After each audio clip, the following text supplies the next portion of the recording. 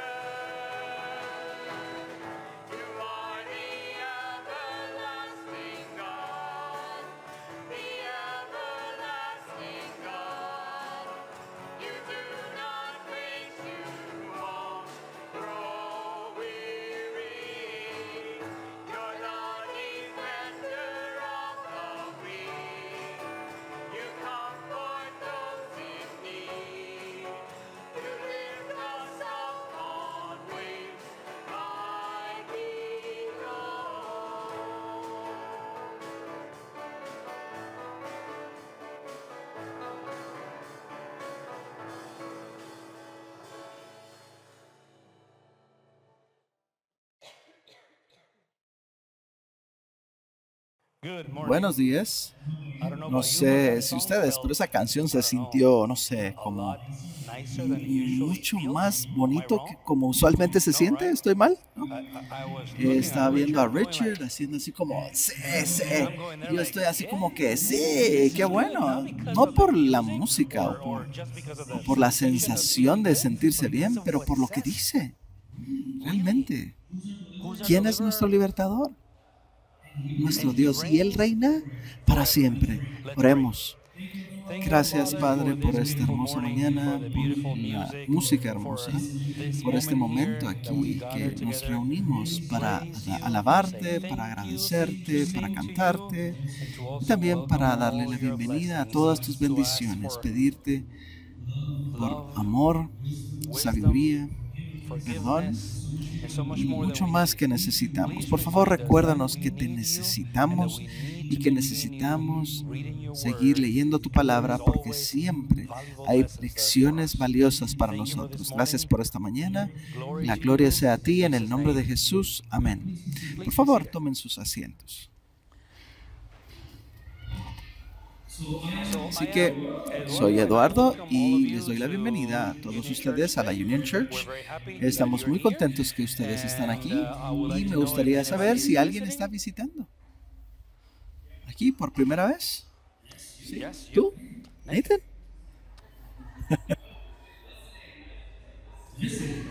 Visitando, visitando, visitando. Pero, pero, yo sé de eso, cuatro personas que yo conozco que solían ser miembros de nuestra iglesia en el pasado están aquí el día de hoy. Eso es Greg, Gail, Nathan y Daniel, creo. ¿Sí? Tom, Tom, Tom. Y todos están hasta atrás ahí. Estamos contentos de verles otra vez.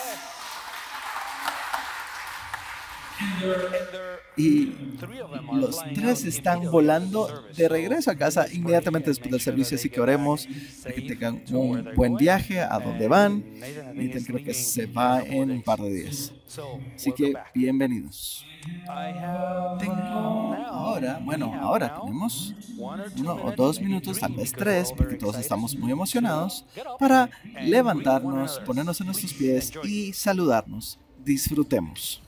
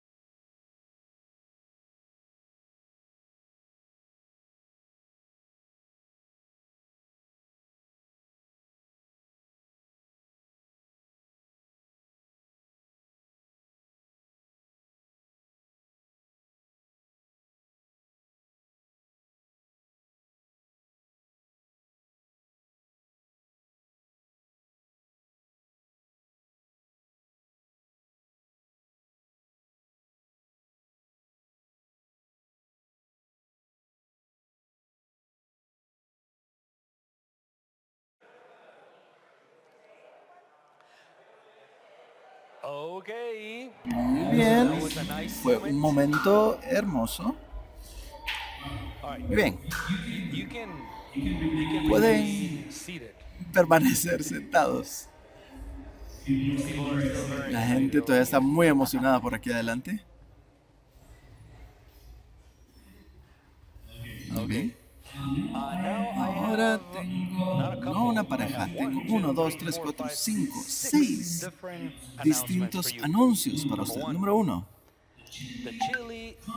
el concurso de Chile que no sucedió ayer. Estamos eh, suspendiendo eso y va a posponerse. No sabemos exactamente cuándo, pero aquellos que nos gusta el chili, creo que, esperamos que suceda. Así que vamos a estar esperando a que eso suceda. Los grupos de las mamás eh, se reúnen los martes, este martes 23.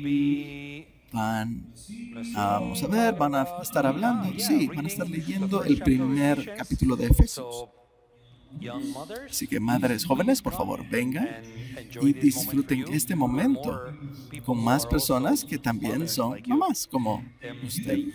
También los jóvenes están teniendo una eh, actividad especial el próximo sábado. ¿sí? Van a ir a un, un parque eh, acuático. Yo le tengo miedo al agua, así que yo sí no voy, pero eh, a veces ni me baño. Pero, eh, jóvenes, disfruten. Eh, la venta de garage. Por favor, limpien sus hogares. Desháganse de todo lo que ya no les sirve, que usted solo quiere quedarse ahí tráigalo acá y haga algo de dinero. Eso va a ser el 3 de junio, sábado. Eh, puede tomar una mesa completa para vender todo lo que usted tiene en su casa que ya no necesita o media mesa si solo quiere mantener algunas de esas cosas todavía en su casa. La venta de garage el 3 de junio. Esto es algo nuevo. Y es, mm, mm, qué mal que Mark no esté aquí para poder decirlo. Escuchen esto. Pastries con el pastor. Galletitas con el pastor. Si quieres ser un miembro, puedes platicar con nuestro pastor y disfrutar algo mientras estás hablando de eso. Eso no lo hicieron cuando yo vine. Ahora lo hacen con ustedes, ¿no? No, eh, eh, creo que no lo deben. Así que le voy a decir a Mark qué pasó con mis galletitas. Eso es algo nuevo, pero estoy muy contento que está sucediendo. bien. Cualquiera que no es un miembro deberían considerar ser un miembro y le damos la bienvenida aquí. Así que escriban su nombre, vengan a la secretaria o a Mark y estoy seguro de que todos estaremos muy contentos de darle la bienvenida aquí como parte de nuestra iglesia. Después del servicio tendremos comunión con galletitas, cafecito, podemos hablar y conocernos un poquito más. Ahora, por favor, pongámonos de pie. Vamos a tener nuestro llamado a la adoración. Esto es de Nehemías 9 y dice, levántate y alaba al Señor que es de para siempre para siempre. Bendito sea tu nombre glorioso y que sea exaltado sobre todas las bendiciones. Amén. Tú y solo tú eres el Señor. Eh, hiciste a los cielos, aún los cielos más altos. y sigue aquí. Eh, la tierra y todo lo que en él habita, el mar y todo lo que en él está das vida a todo y las multitudes del cielo te adoran. Permanezcan de pie mientras alabamos al Señor todos juntos. Tú y solo tú eres Dios.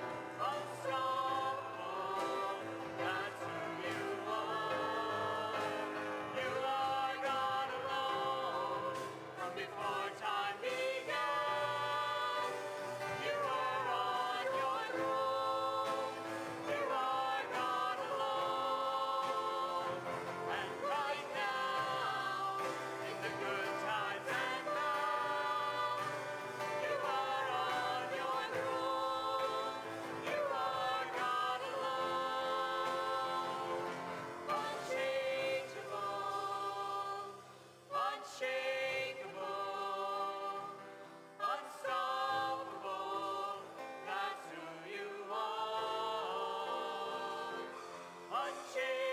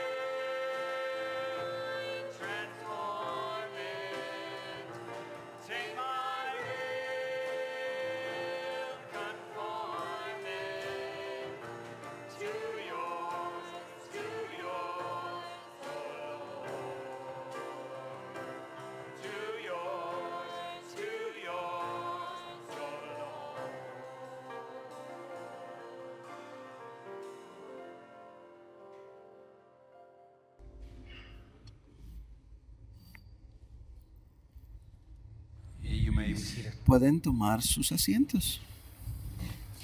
Una de las uno de mis momentos favoritos es siempre ahora cuando oramos y cuando nosotros vemos cuán grande es Dios, que no hay nadie como Él. Después nos echamos un vistazo a nosotros mismos, a mi vida. Vemos que somos tan diminutos y aún así nos ama. moment. He Quiere que este to- momento to suceda. Él quiere que nosotros nos acerquemos a Él y le hablemos. Así que hagámoslo.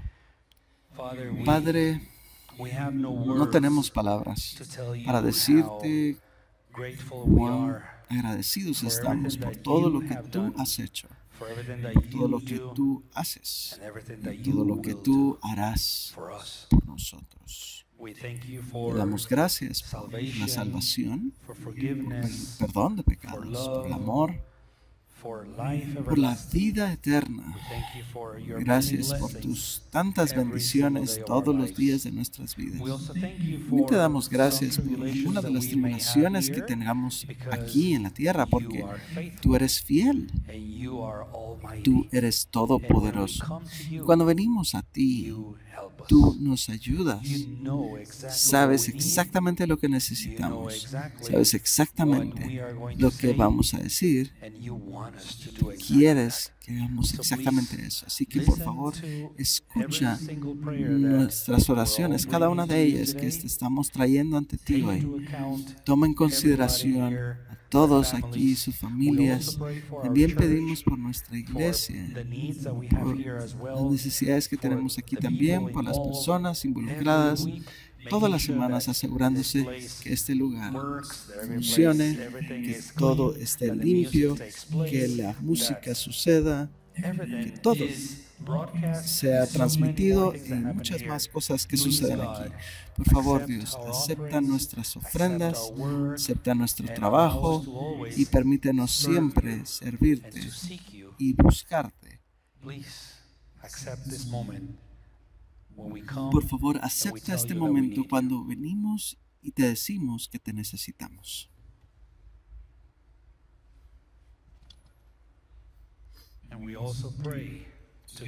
Y también oramos juntos, como tú nos enseñaste. Padre nuestro que estás en los cielos, santificado sea tu nombre. Hágase tu voluntad como en el cielo, así también en la tierra. El pan nuestro de cada día, dánoslo hoy y perdónanos as nuestras deudas, como también nosotros perdonamos a nuestros deudores.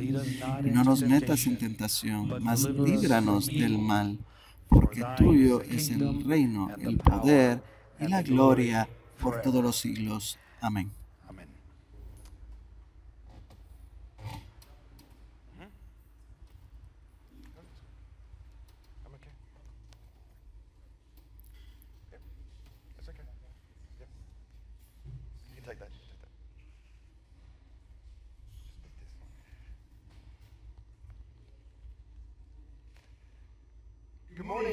Buenos días, Union Church. ¿Cómo estamos esta mañana?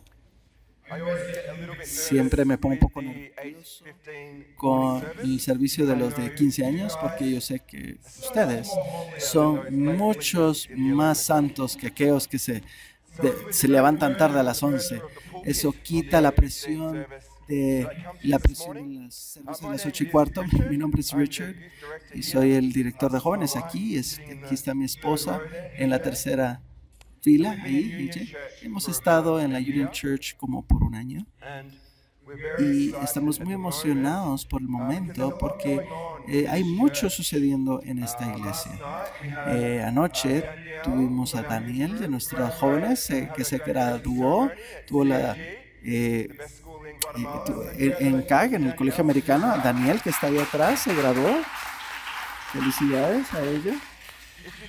Si no saben lo que vas a hacer después, Daniel, tenemos un, espacio aquí en el liderazgo. Puedes utilizar tu conocimiento. Eh, Daniel parece una Biblia eh, andante. Si no se sabe el versículo, ella se lo encuentra más rápido que Google. También tenemos el grupo de las mamis, eh, la venta de garage. ¿Qué más tenemos? Ah, también tenemos los galletitas con el pastor, así que antes de empecemos el pastry si quieres venir y tener galletitas con el pastor y no lo tuviste cuando tú te uniste, por favor ven. Mi idea para ese evento eh, desafortunadamente fue cancelada. Yo pensé que sí iba a ser pasta con el pastor y todos mejor hubieran comido espagueti o linguini o tortellini o gnocchi y después me dijeron muy amablemente que yo era la única persona que esas dos personas, esas dos palabras suenan similar, pasta y pastor. Eh, pero en acento australiana sí suena bastante. Eh, también tenemos el evento eh, este sábado con los jóvenes. Así que hay mucho sucediendo aquí. Estamos muy emocionados. Mi esposa y yo ahora hemos estado en esta iglesia por un año, casi exactamente un año. Cuando venimos, venimos de, eh, de Camboya, en el campo misionero, y planeamos hacer un poquito de iglesias, saltando de iglesias antes de escoger nuestra iglesia. Y la primera iglesia que eh, pasamos se había movido afuera de la ciudad desde la pandemia. Y regresamos a Google y nos encontramos a la Union Church. Y nos ha encantado desde entonces. No visitamos a ninguna otra iglesia y ahora esta iglesia es una gran parte de nuestras vidas. Hay algunas cosas que nos encanta de esta iglesia. Voy a señalar algunas de ellas. La primera es nuestro compromiso iglesia para predicación exegética. Eso quiere decir utilizando la palabra de Dios como es, versículo por versículo, precepto tras precepto, y no utilizando la palabra de Dios para nuestra propia agenda o ir a la tangente y utilizar algunos versículos bíblicos fuera de contexto para hacer nuestro Hablamos mucho cristianoide aquí. Uno de mis, eh, mis eh, una de las cosas que me gustan, eh, que no me gusta, es eh, cristianoide. Es que los cristianos que hablan un idioma que solo los otros cristianos entienden, utilizan eh, frases cristianoides como para salirse de las cosas que no nos gustan, en vez de confrontar la situación. Decimos cosas como, Dios está en control, hermano, voy a orar por usted. Y decimos cosas que son clichés. No vi mucho de eso aquí, así que quiero felicitar a los líderes de la Union Church por pastorear la iglesia en ese sentido. La siguiente cosa que me gusta es esta estructura, esta iglesia. Es un lugar bonito para adorar estando en Guatemala, la tierra de la eterna primavera. Eh, tenemos casi todos los días sol en la mañana. Hay algunas dificultades teniendo una iglesia adentro de la ciudad, como los aviones, a veces no. Estaba orando que uno pasara justo en ese momento pero Dios nunca llega tarde, así que va a pasar. Para los que están viendo eh, en YouTube, nuestra iglesia está, ajá, eh, justo cerca de un aeropuerto a veces pasan e interrumpen el servicio. Así que es una de las cosas. Pero básicamente podemos ver esta iglesia y podamos estar confundidos o tener un, un paradigma en donde que podamos decir que nuestra iglesia es rica. ¿Creen ustedes esto? Es algo difícil pensar. Déjenme decirlo, no somos pobres. Pero en el momento tenemos una situación difícil con las finanzas de la iglesia.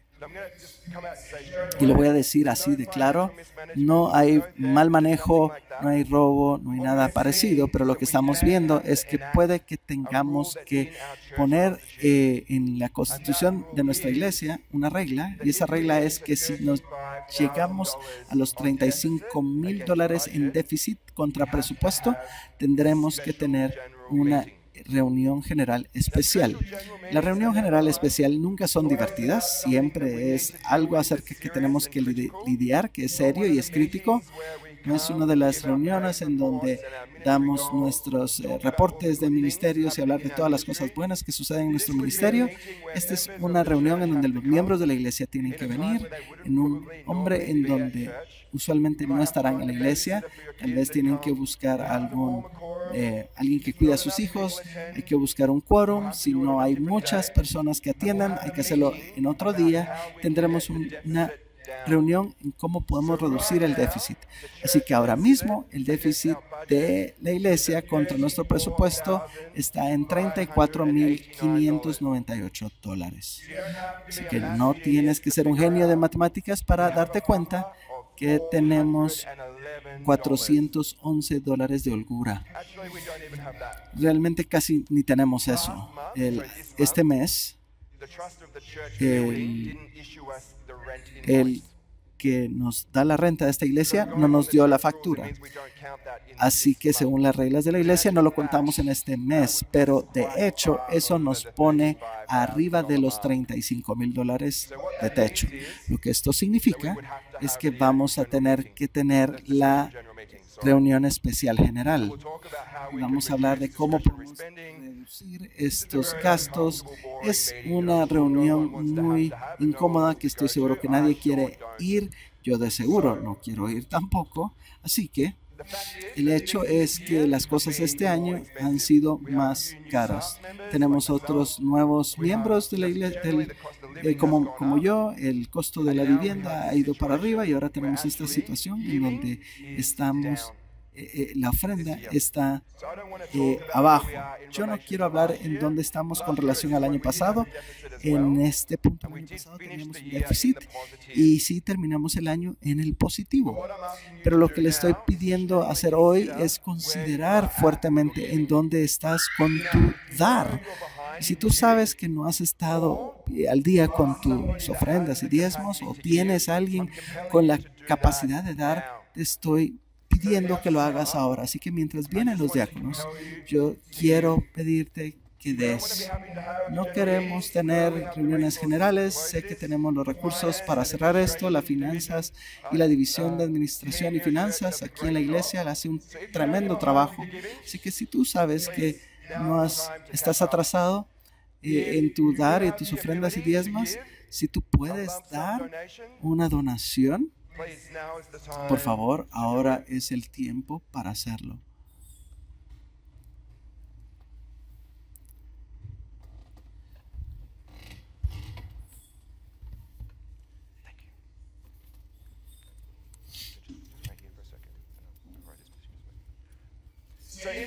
Así que al frente de tus bancas puedes ver que hay un lápiz y tal vez un sobre verde. Eh, todos tienen eso. Nadie que no tenga un sobre verde y un lápiz, ¿sí? Todos tienen. Así que si no tienes el efectivo ahorita o es una suma grande o necesitas discreción, eh, deberíamos de ser bíblicos y dar generosamente, pero a la izquierda y la derecha no deberían de saber lo que cada una está haciendo. Vamos a respetar su privacidad y si quieres hacer una donación, si quieres ponerte al día en tus ofrendas y no estás en la posición ahorita con un, cheque eh, o efectivo, bueno, créeme, sí vamos a obtener eso. Vamos a tomar Bitcoin, Ethereum, lo que tenga. Pero esencialmente lo que estoy haciendo es que por favor den generosamente. Lo que no queremos es que esto siga arrastrando. Esto lo que significa es que los líderes de la iglesia van a comenzar a enfocarse en la administración y finanzas y mucho de su tiempo va a ser lidiar con este problema en vez de dirigir el negocio de Dios en la iglesia, que es dar programas, alcanzando a la gente, dando consejo y pastoreando a la manada. Así que por favor tomen ese lapicero, ese lápiz y tomen ese eh, sobre verde que está ahí, pongan su información de contacto y cómo quieren pagar. Si necesitan que su donación sea dado a través de nuestra eh, partner eh, que está exento de impuestos eh, de Estados Unidos, pueden hacerlo así. De la manera que tú quieras hacerlo, lo podemos hacer por ti. Pero por ahora, por favor, ahí ponga tus datos y el monto y vamos a tomarlo como una promesa de fe. Vamos a darle seguimiento a ti, tal vez hoy o en la semana, pero simplemente le estoy pidiendo ahora, la iglesia nos necesita a que demos y llenemos ese agujero con nuestro dar. Así que mientras van los diáconos, pueden distribuirlo y voy a orar. Señor, te damos gracias por la vida de esta iglesia y por la habilidad de dar y dar generosamente. Como dice tu palabra, que no vamos a retener nuestros talentos para nosotros mismos. Tú hoy, Dios, eres el Dios de multiplicación, eres el Dios de diferencia y de poder. Y te pedimos que la vida de la iglesia y el uso de los fondos y cómo va. Así que por favor, da nuestro corazón a dar generosamente, que hablemos privadamente acerca del monto que queremos dar. Eh, por favor, trae todos los eh, diezmos al alfolí en el nombre de Jesús. Amén.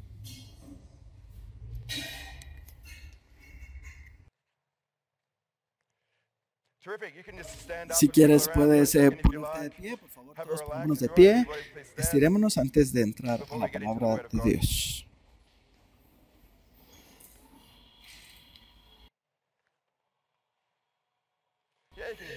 Sí, pueden moverse un poquito, estirar, por favor, ya.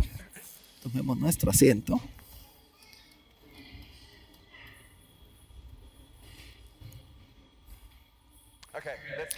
Muy bien, vamos a la palabra de Dios, vamos a la Biblia. El pasaje de hoy es Marcos, capítulo 10, versículos del 32 al 46. Es la palabra del Señor. Iban de camino subiendo a Jerusalén y Jesús se les adelantó. Los discípulos estaban asombrados y los otros que venían detrás tenían miedo. De nuevo tomó aparte a los doce y comenzó a decirles lo que le iba a suceder. Ahora vamos rumbo a Jerusalén y el Hijo del Hombre será entregado a los jefes de los sacerdotes y a los maestros de la ley.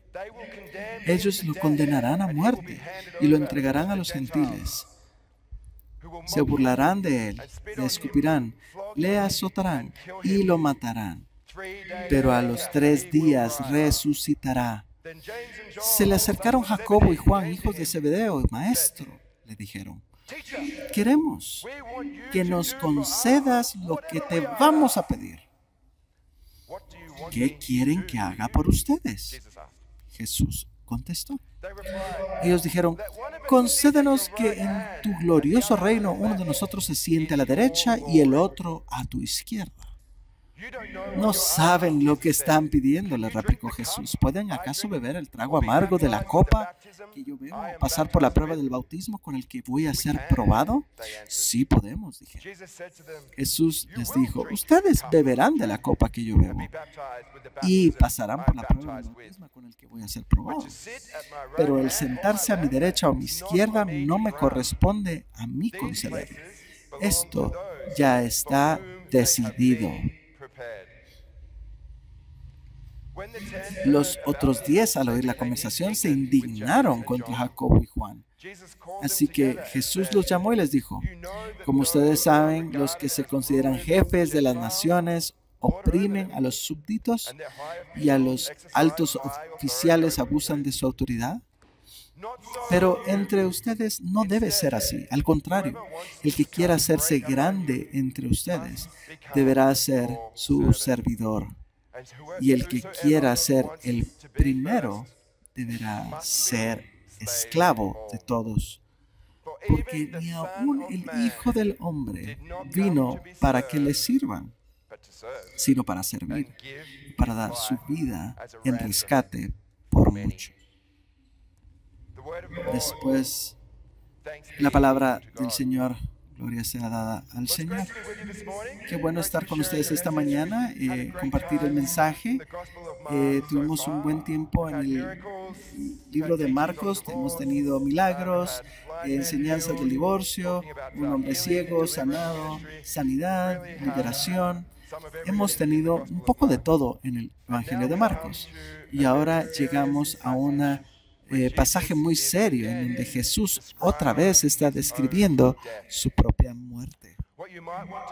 Lo que quieren hacer mientras tienen su Biblia en sus manos o tal vez su iPhone o su Android, yo no hago discriminación de teléfonos, es abrir otros dos versículos que vamos a hacer referencia en este sermón. Y es Isaías 50, eh, eh, tal vez es Isaías, para mí es Isaías 50, verse 6. eh, 50, capítulo- versículo Once you've 6. got that, just put your Y finger una vez eh, lo tengan ahí o pongan ahí su separador o tarjeta de negocios, algo que está por ahí, eh, pueden poner ahí eh, un doblez a la página, no le voy a decir a nadie.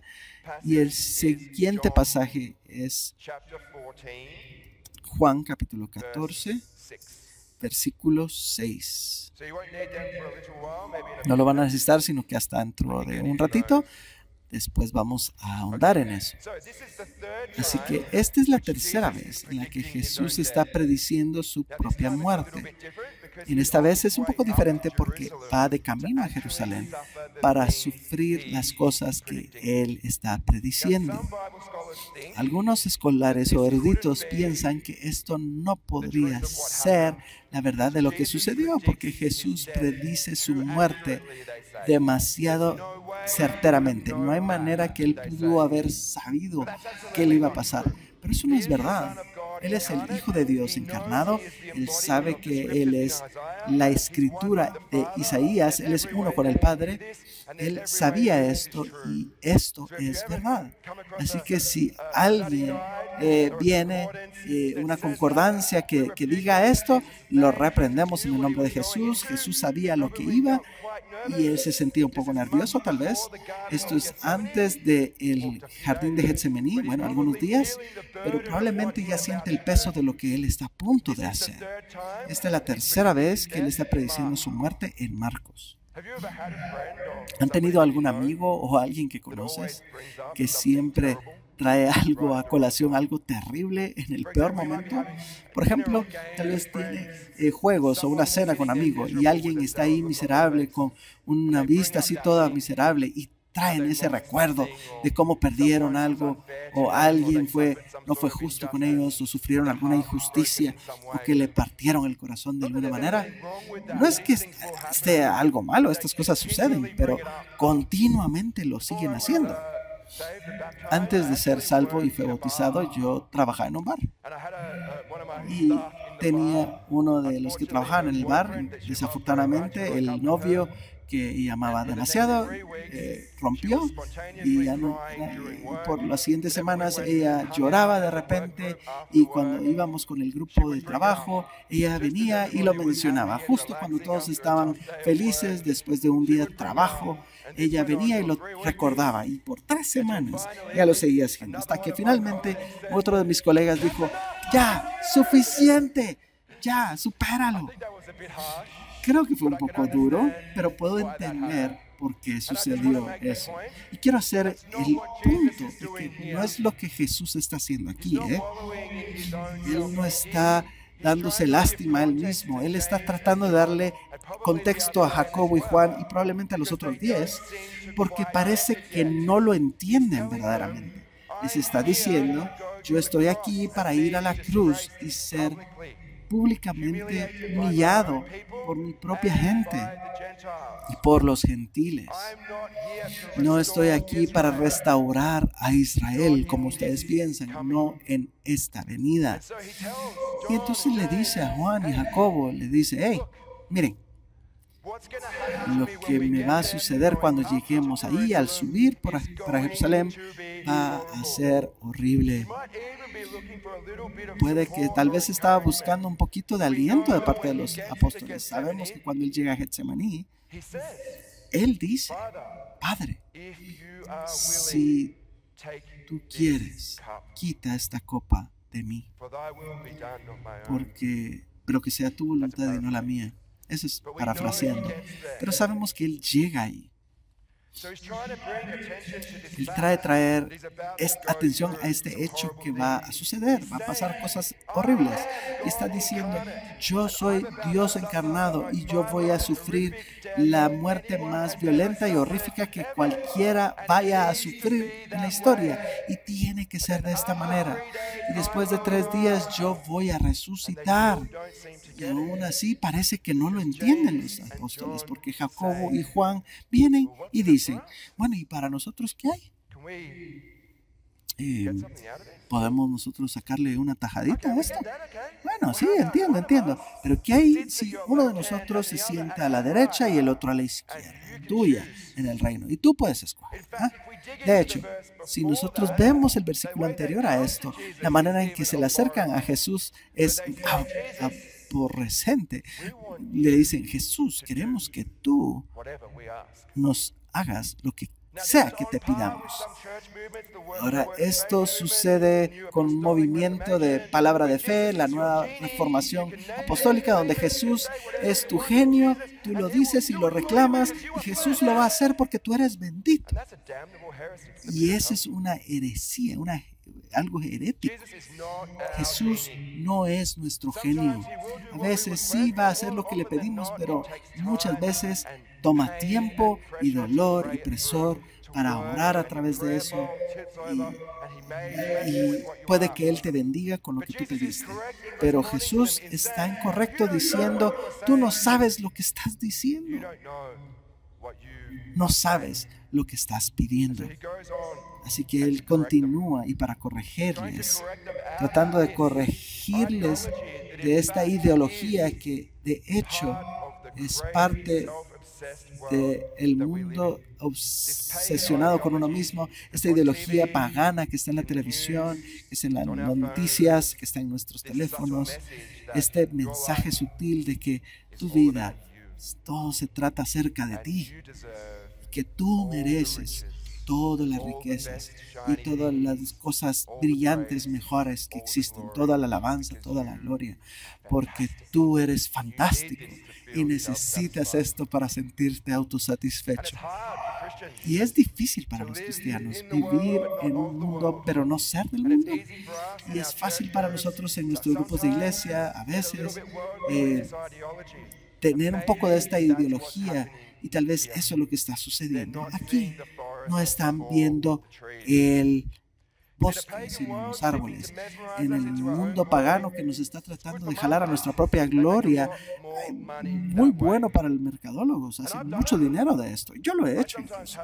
A veces yo tengo estos eh, sueños eh, donde yo puedo tener tal vez algunas mansiones. Tal vez no es malo pensarlo, pero son una distracción para ti. Tal vez ese es tu deseo. El problema con la gloria de Cristo es que Él no la comparte con nadie.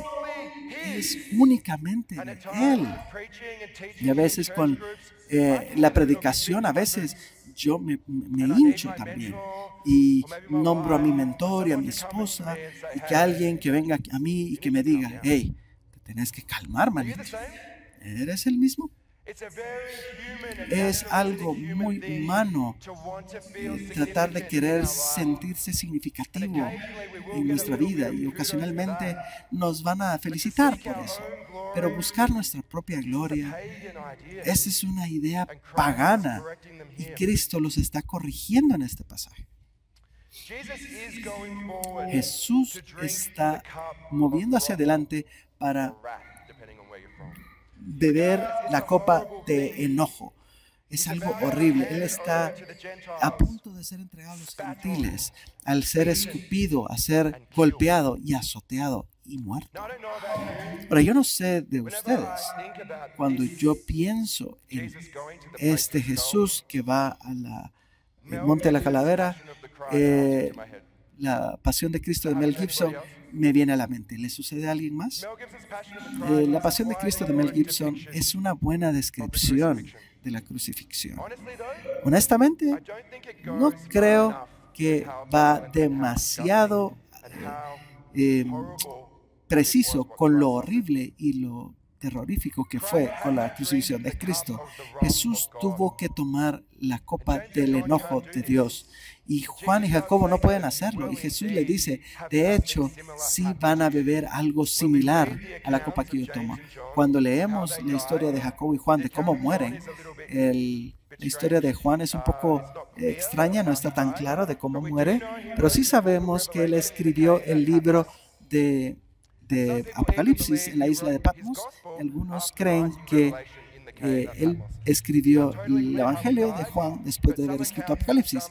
No está tan claro, pero algunas eh, historias de algunos historiadores dicen que él era un esclavo en las minas, otros dicen que fue quemado vivo y Jacobo también sufrió una muerte horrible, creo que lo decapitaron, dependiendo de la historia que ustedes lean. Así que de hecho sí sufrieron algo terrible por su fe pero no en ninguna manera cercana a lo que sufrió Jesucristo. Así cuando vemos la persecución de Mel Gibson en esa película de Jesús, de, de lo que, como él lo imaginó, hay una cosa que yo creo que le falta. Yo creo que tal vez entienden la violencia y el abuso que Cristo sufrió por beber esa copa de enojo. Y cuando lo pensamos, Él está tomando la, la copa del enojo de todo el pecado de todos los pueblos de la humanidad. Cualquier acción depravada, cualquier pensamiento malo, palabra mala, cada mentira, acto de adúltero, mal uso del dinero, de odio, de la negación de la verdad, cualquier Dios eh, extraño, eh, brujería, todo eso es, da asco y todo eso se pone en una copa y Cristo la bebe y sufrió el enojo de su Padre por nosotros. Entonces, su muerte, su la violencia que él sufrió por nosotros, tuvo que ser brutal. Nuestra salvación es gratuita, pero no es barata. Y si tú le pones, eh, regresas a Isaías en capítulo 50, si le pusiste tu dedo en la Biblia o el separador, Isaías 50, versículo 6, pueden ver eh, en las palabras de Cristo, dice, eh, le di mi espalda a los que lo azotan, eh, mis mejillas que jalaron mi barba, no escondí mi rostro y del, es- del escupitajo. Nosotros sabemos que todo eso sucedió, pero lo que no puso Mel Gibson en la película era que le arrancaron la barba. Para un hombre judío esto es un insulto terrible. La sabiduría y la autoridad dicen que no está en la eh,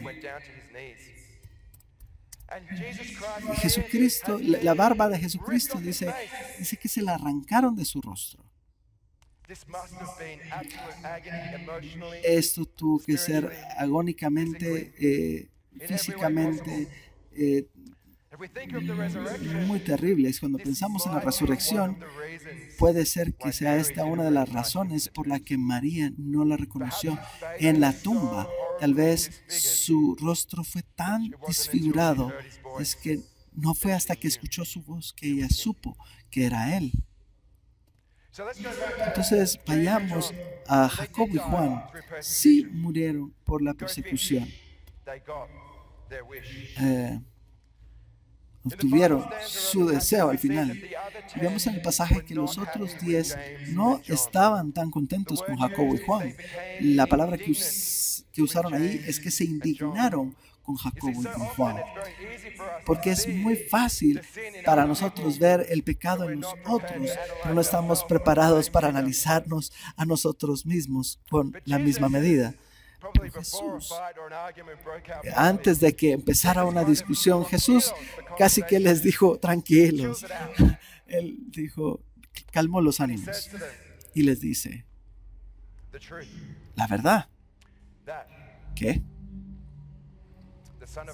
el Hijo de Dios no vino a ser servido. y que los gentiles y las personas del mundo le ponían poder sobre otros para su propia ganancia y que alguien que ha hecho ministerio y que ha vivido en tres o cuatro eh, países desarrollados, creo que todos pueden decir, pueden estar de acuerdo conmigo, que la corrupción, eh, la riqueza propia es el camino del mundo.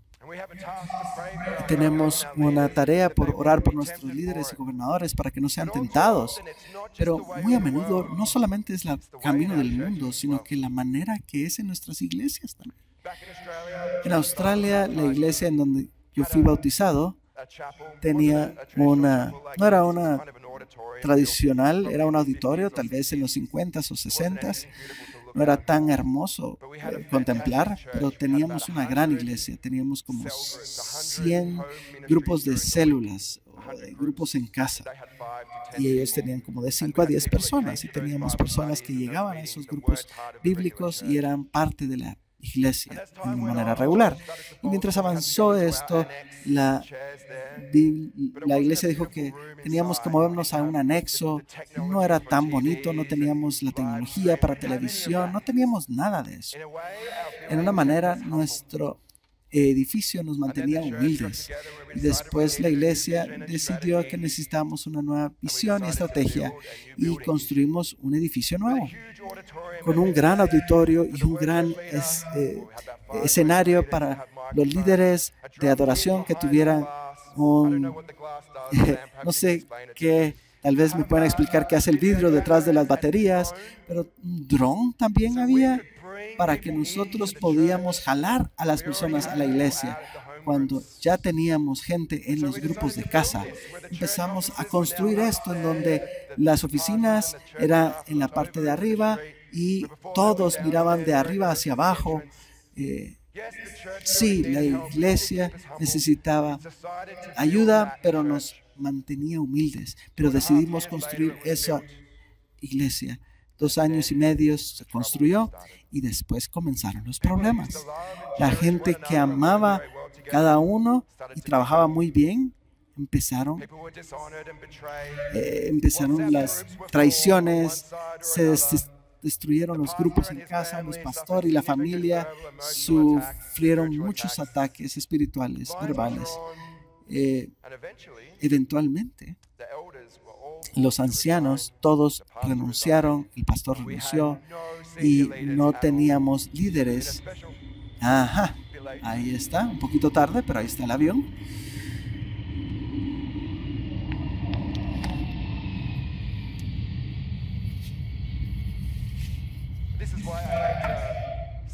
Por eso es que odio a una reunión general especial. Mi pastor, que es mi pastor personal, eh, eh, renunció. Eh, ah, todos fueron obligados a renunciar y ya no teníamos a nadie eh, de liderazgo.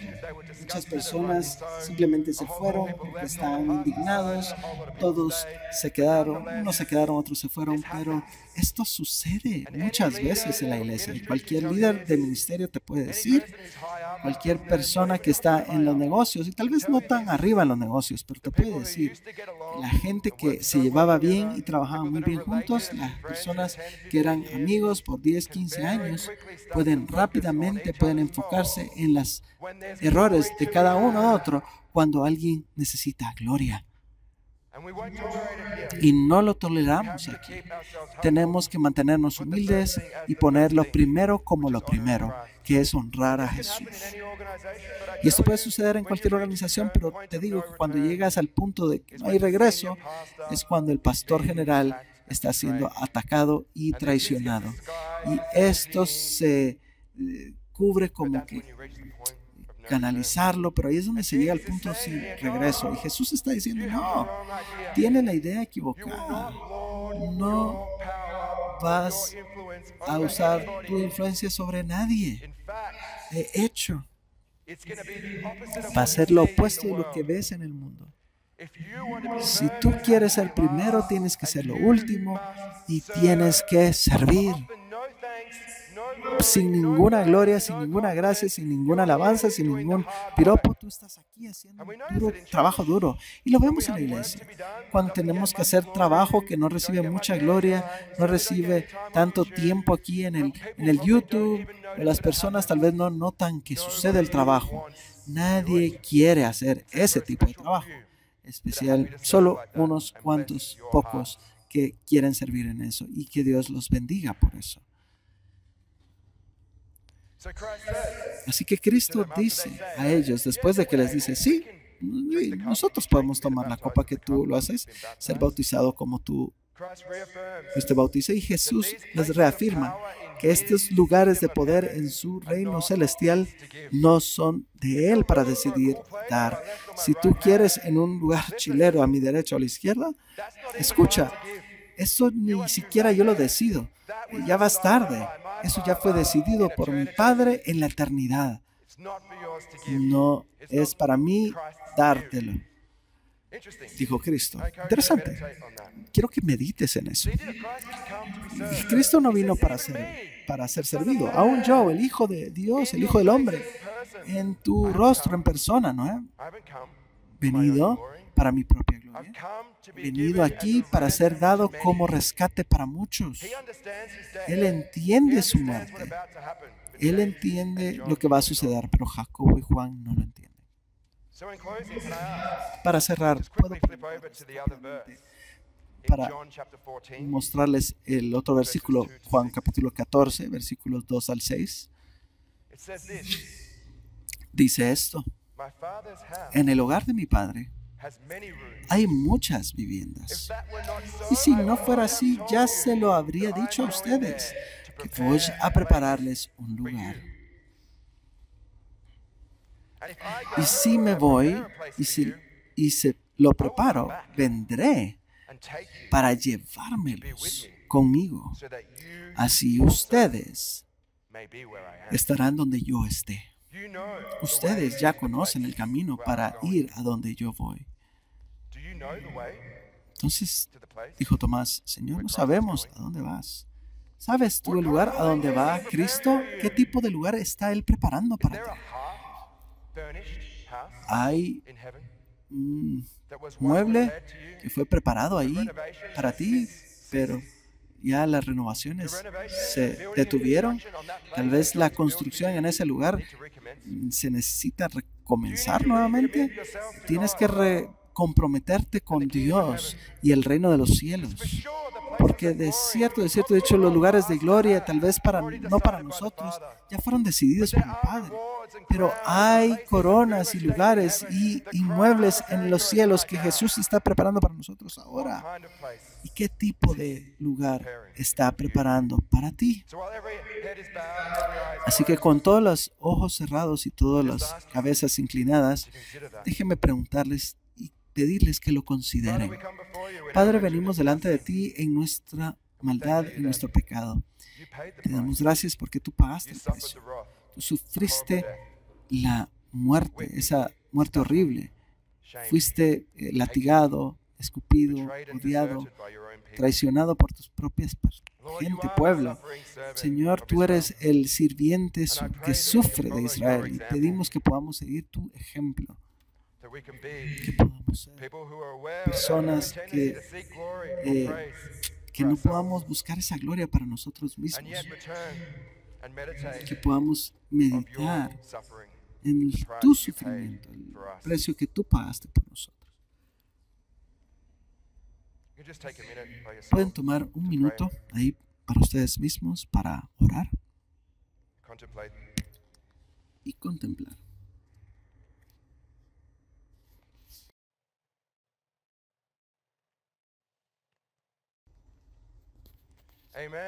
Amén. Bueno, pues muchas gracias en el nombre del Padre, del Hijo y del Espíritu Santo. Amén.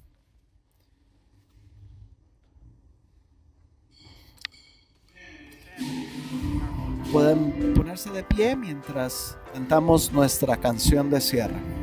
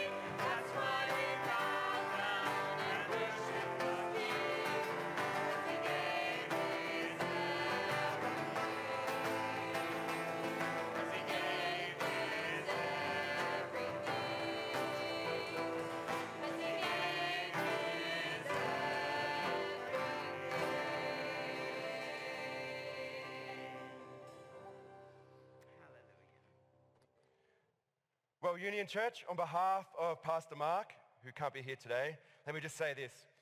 Everybody's going somewhere, but you go nowhere by accident. So wherever you go this week, God has plans and purposes to use you mightily. So go in peace in the name of the Father, the Son, and the Holy Ghost. Amen.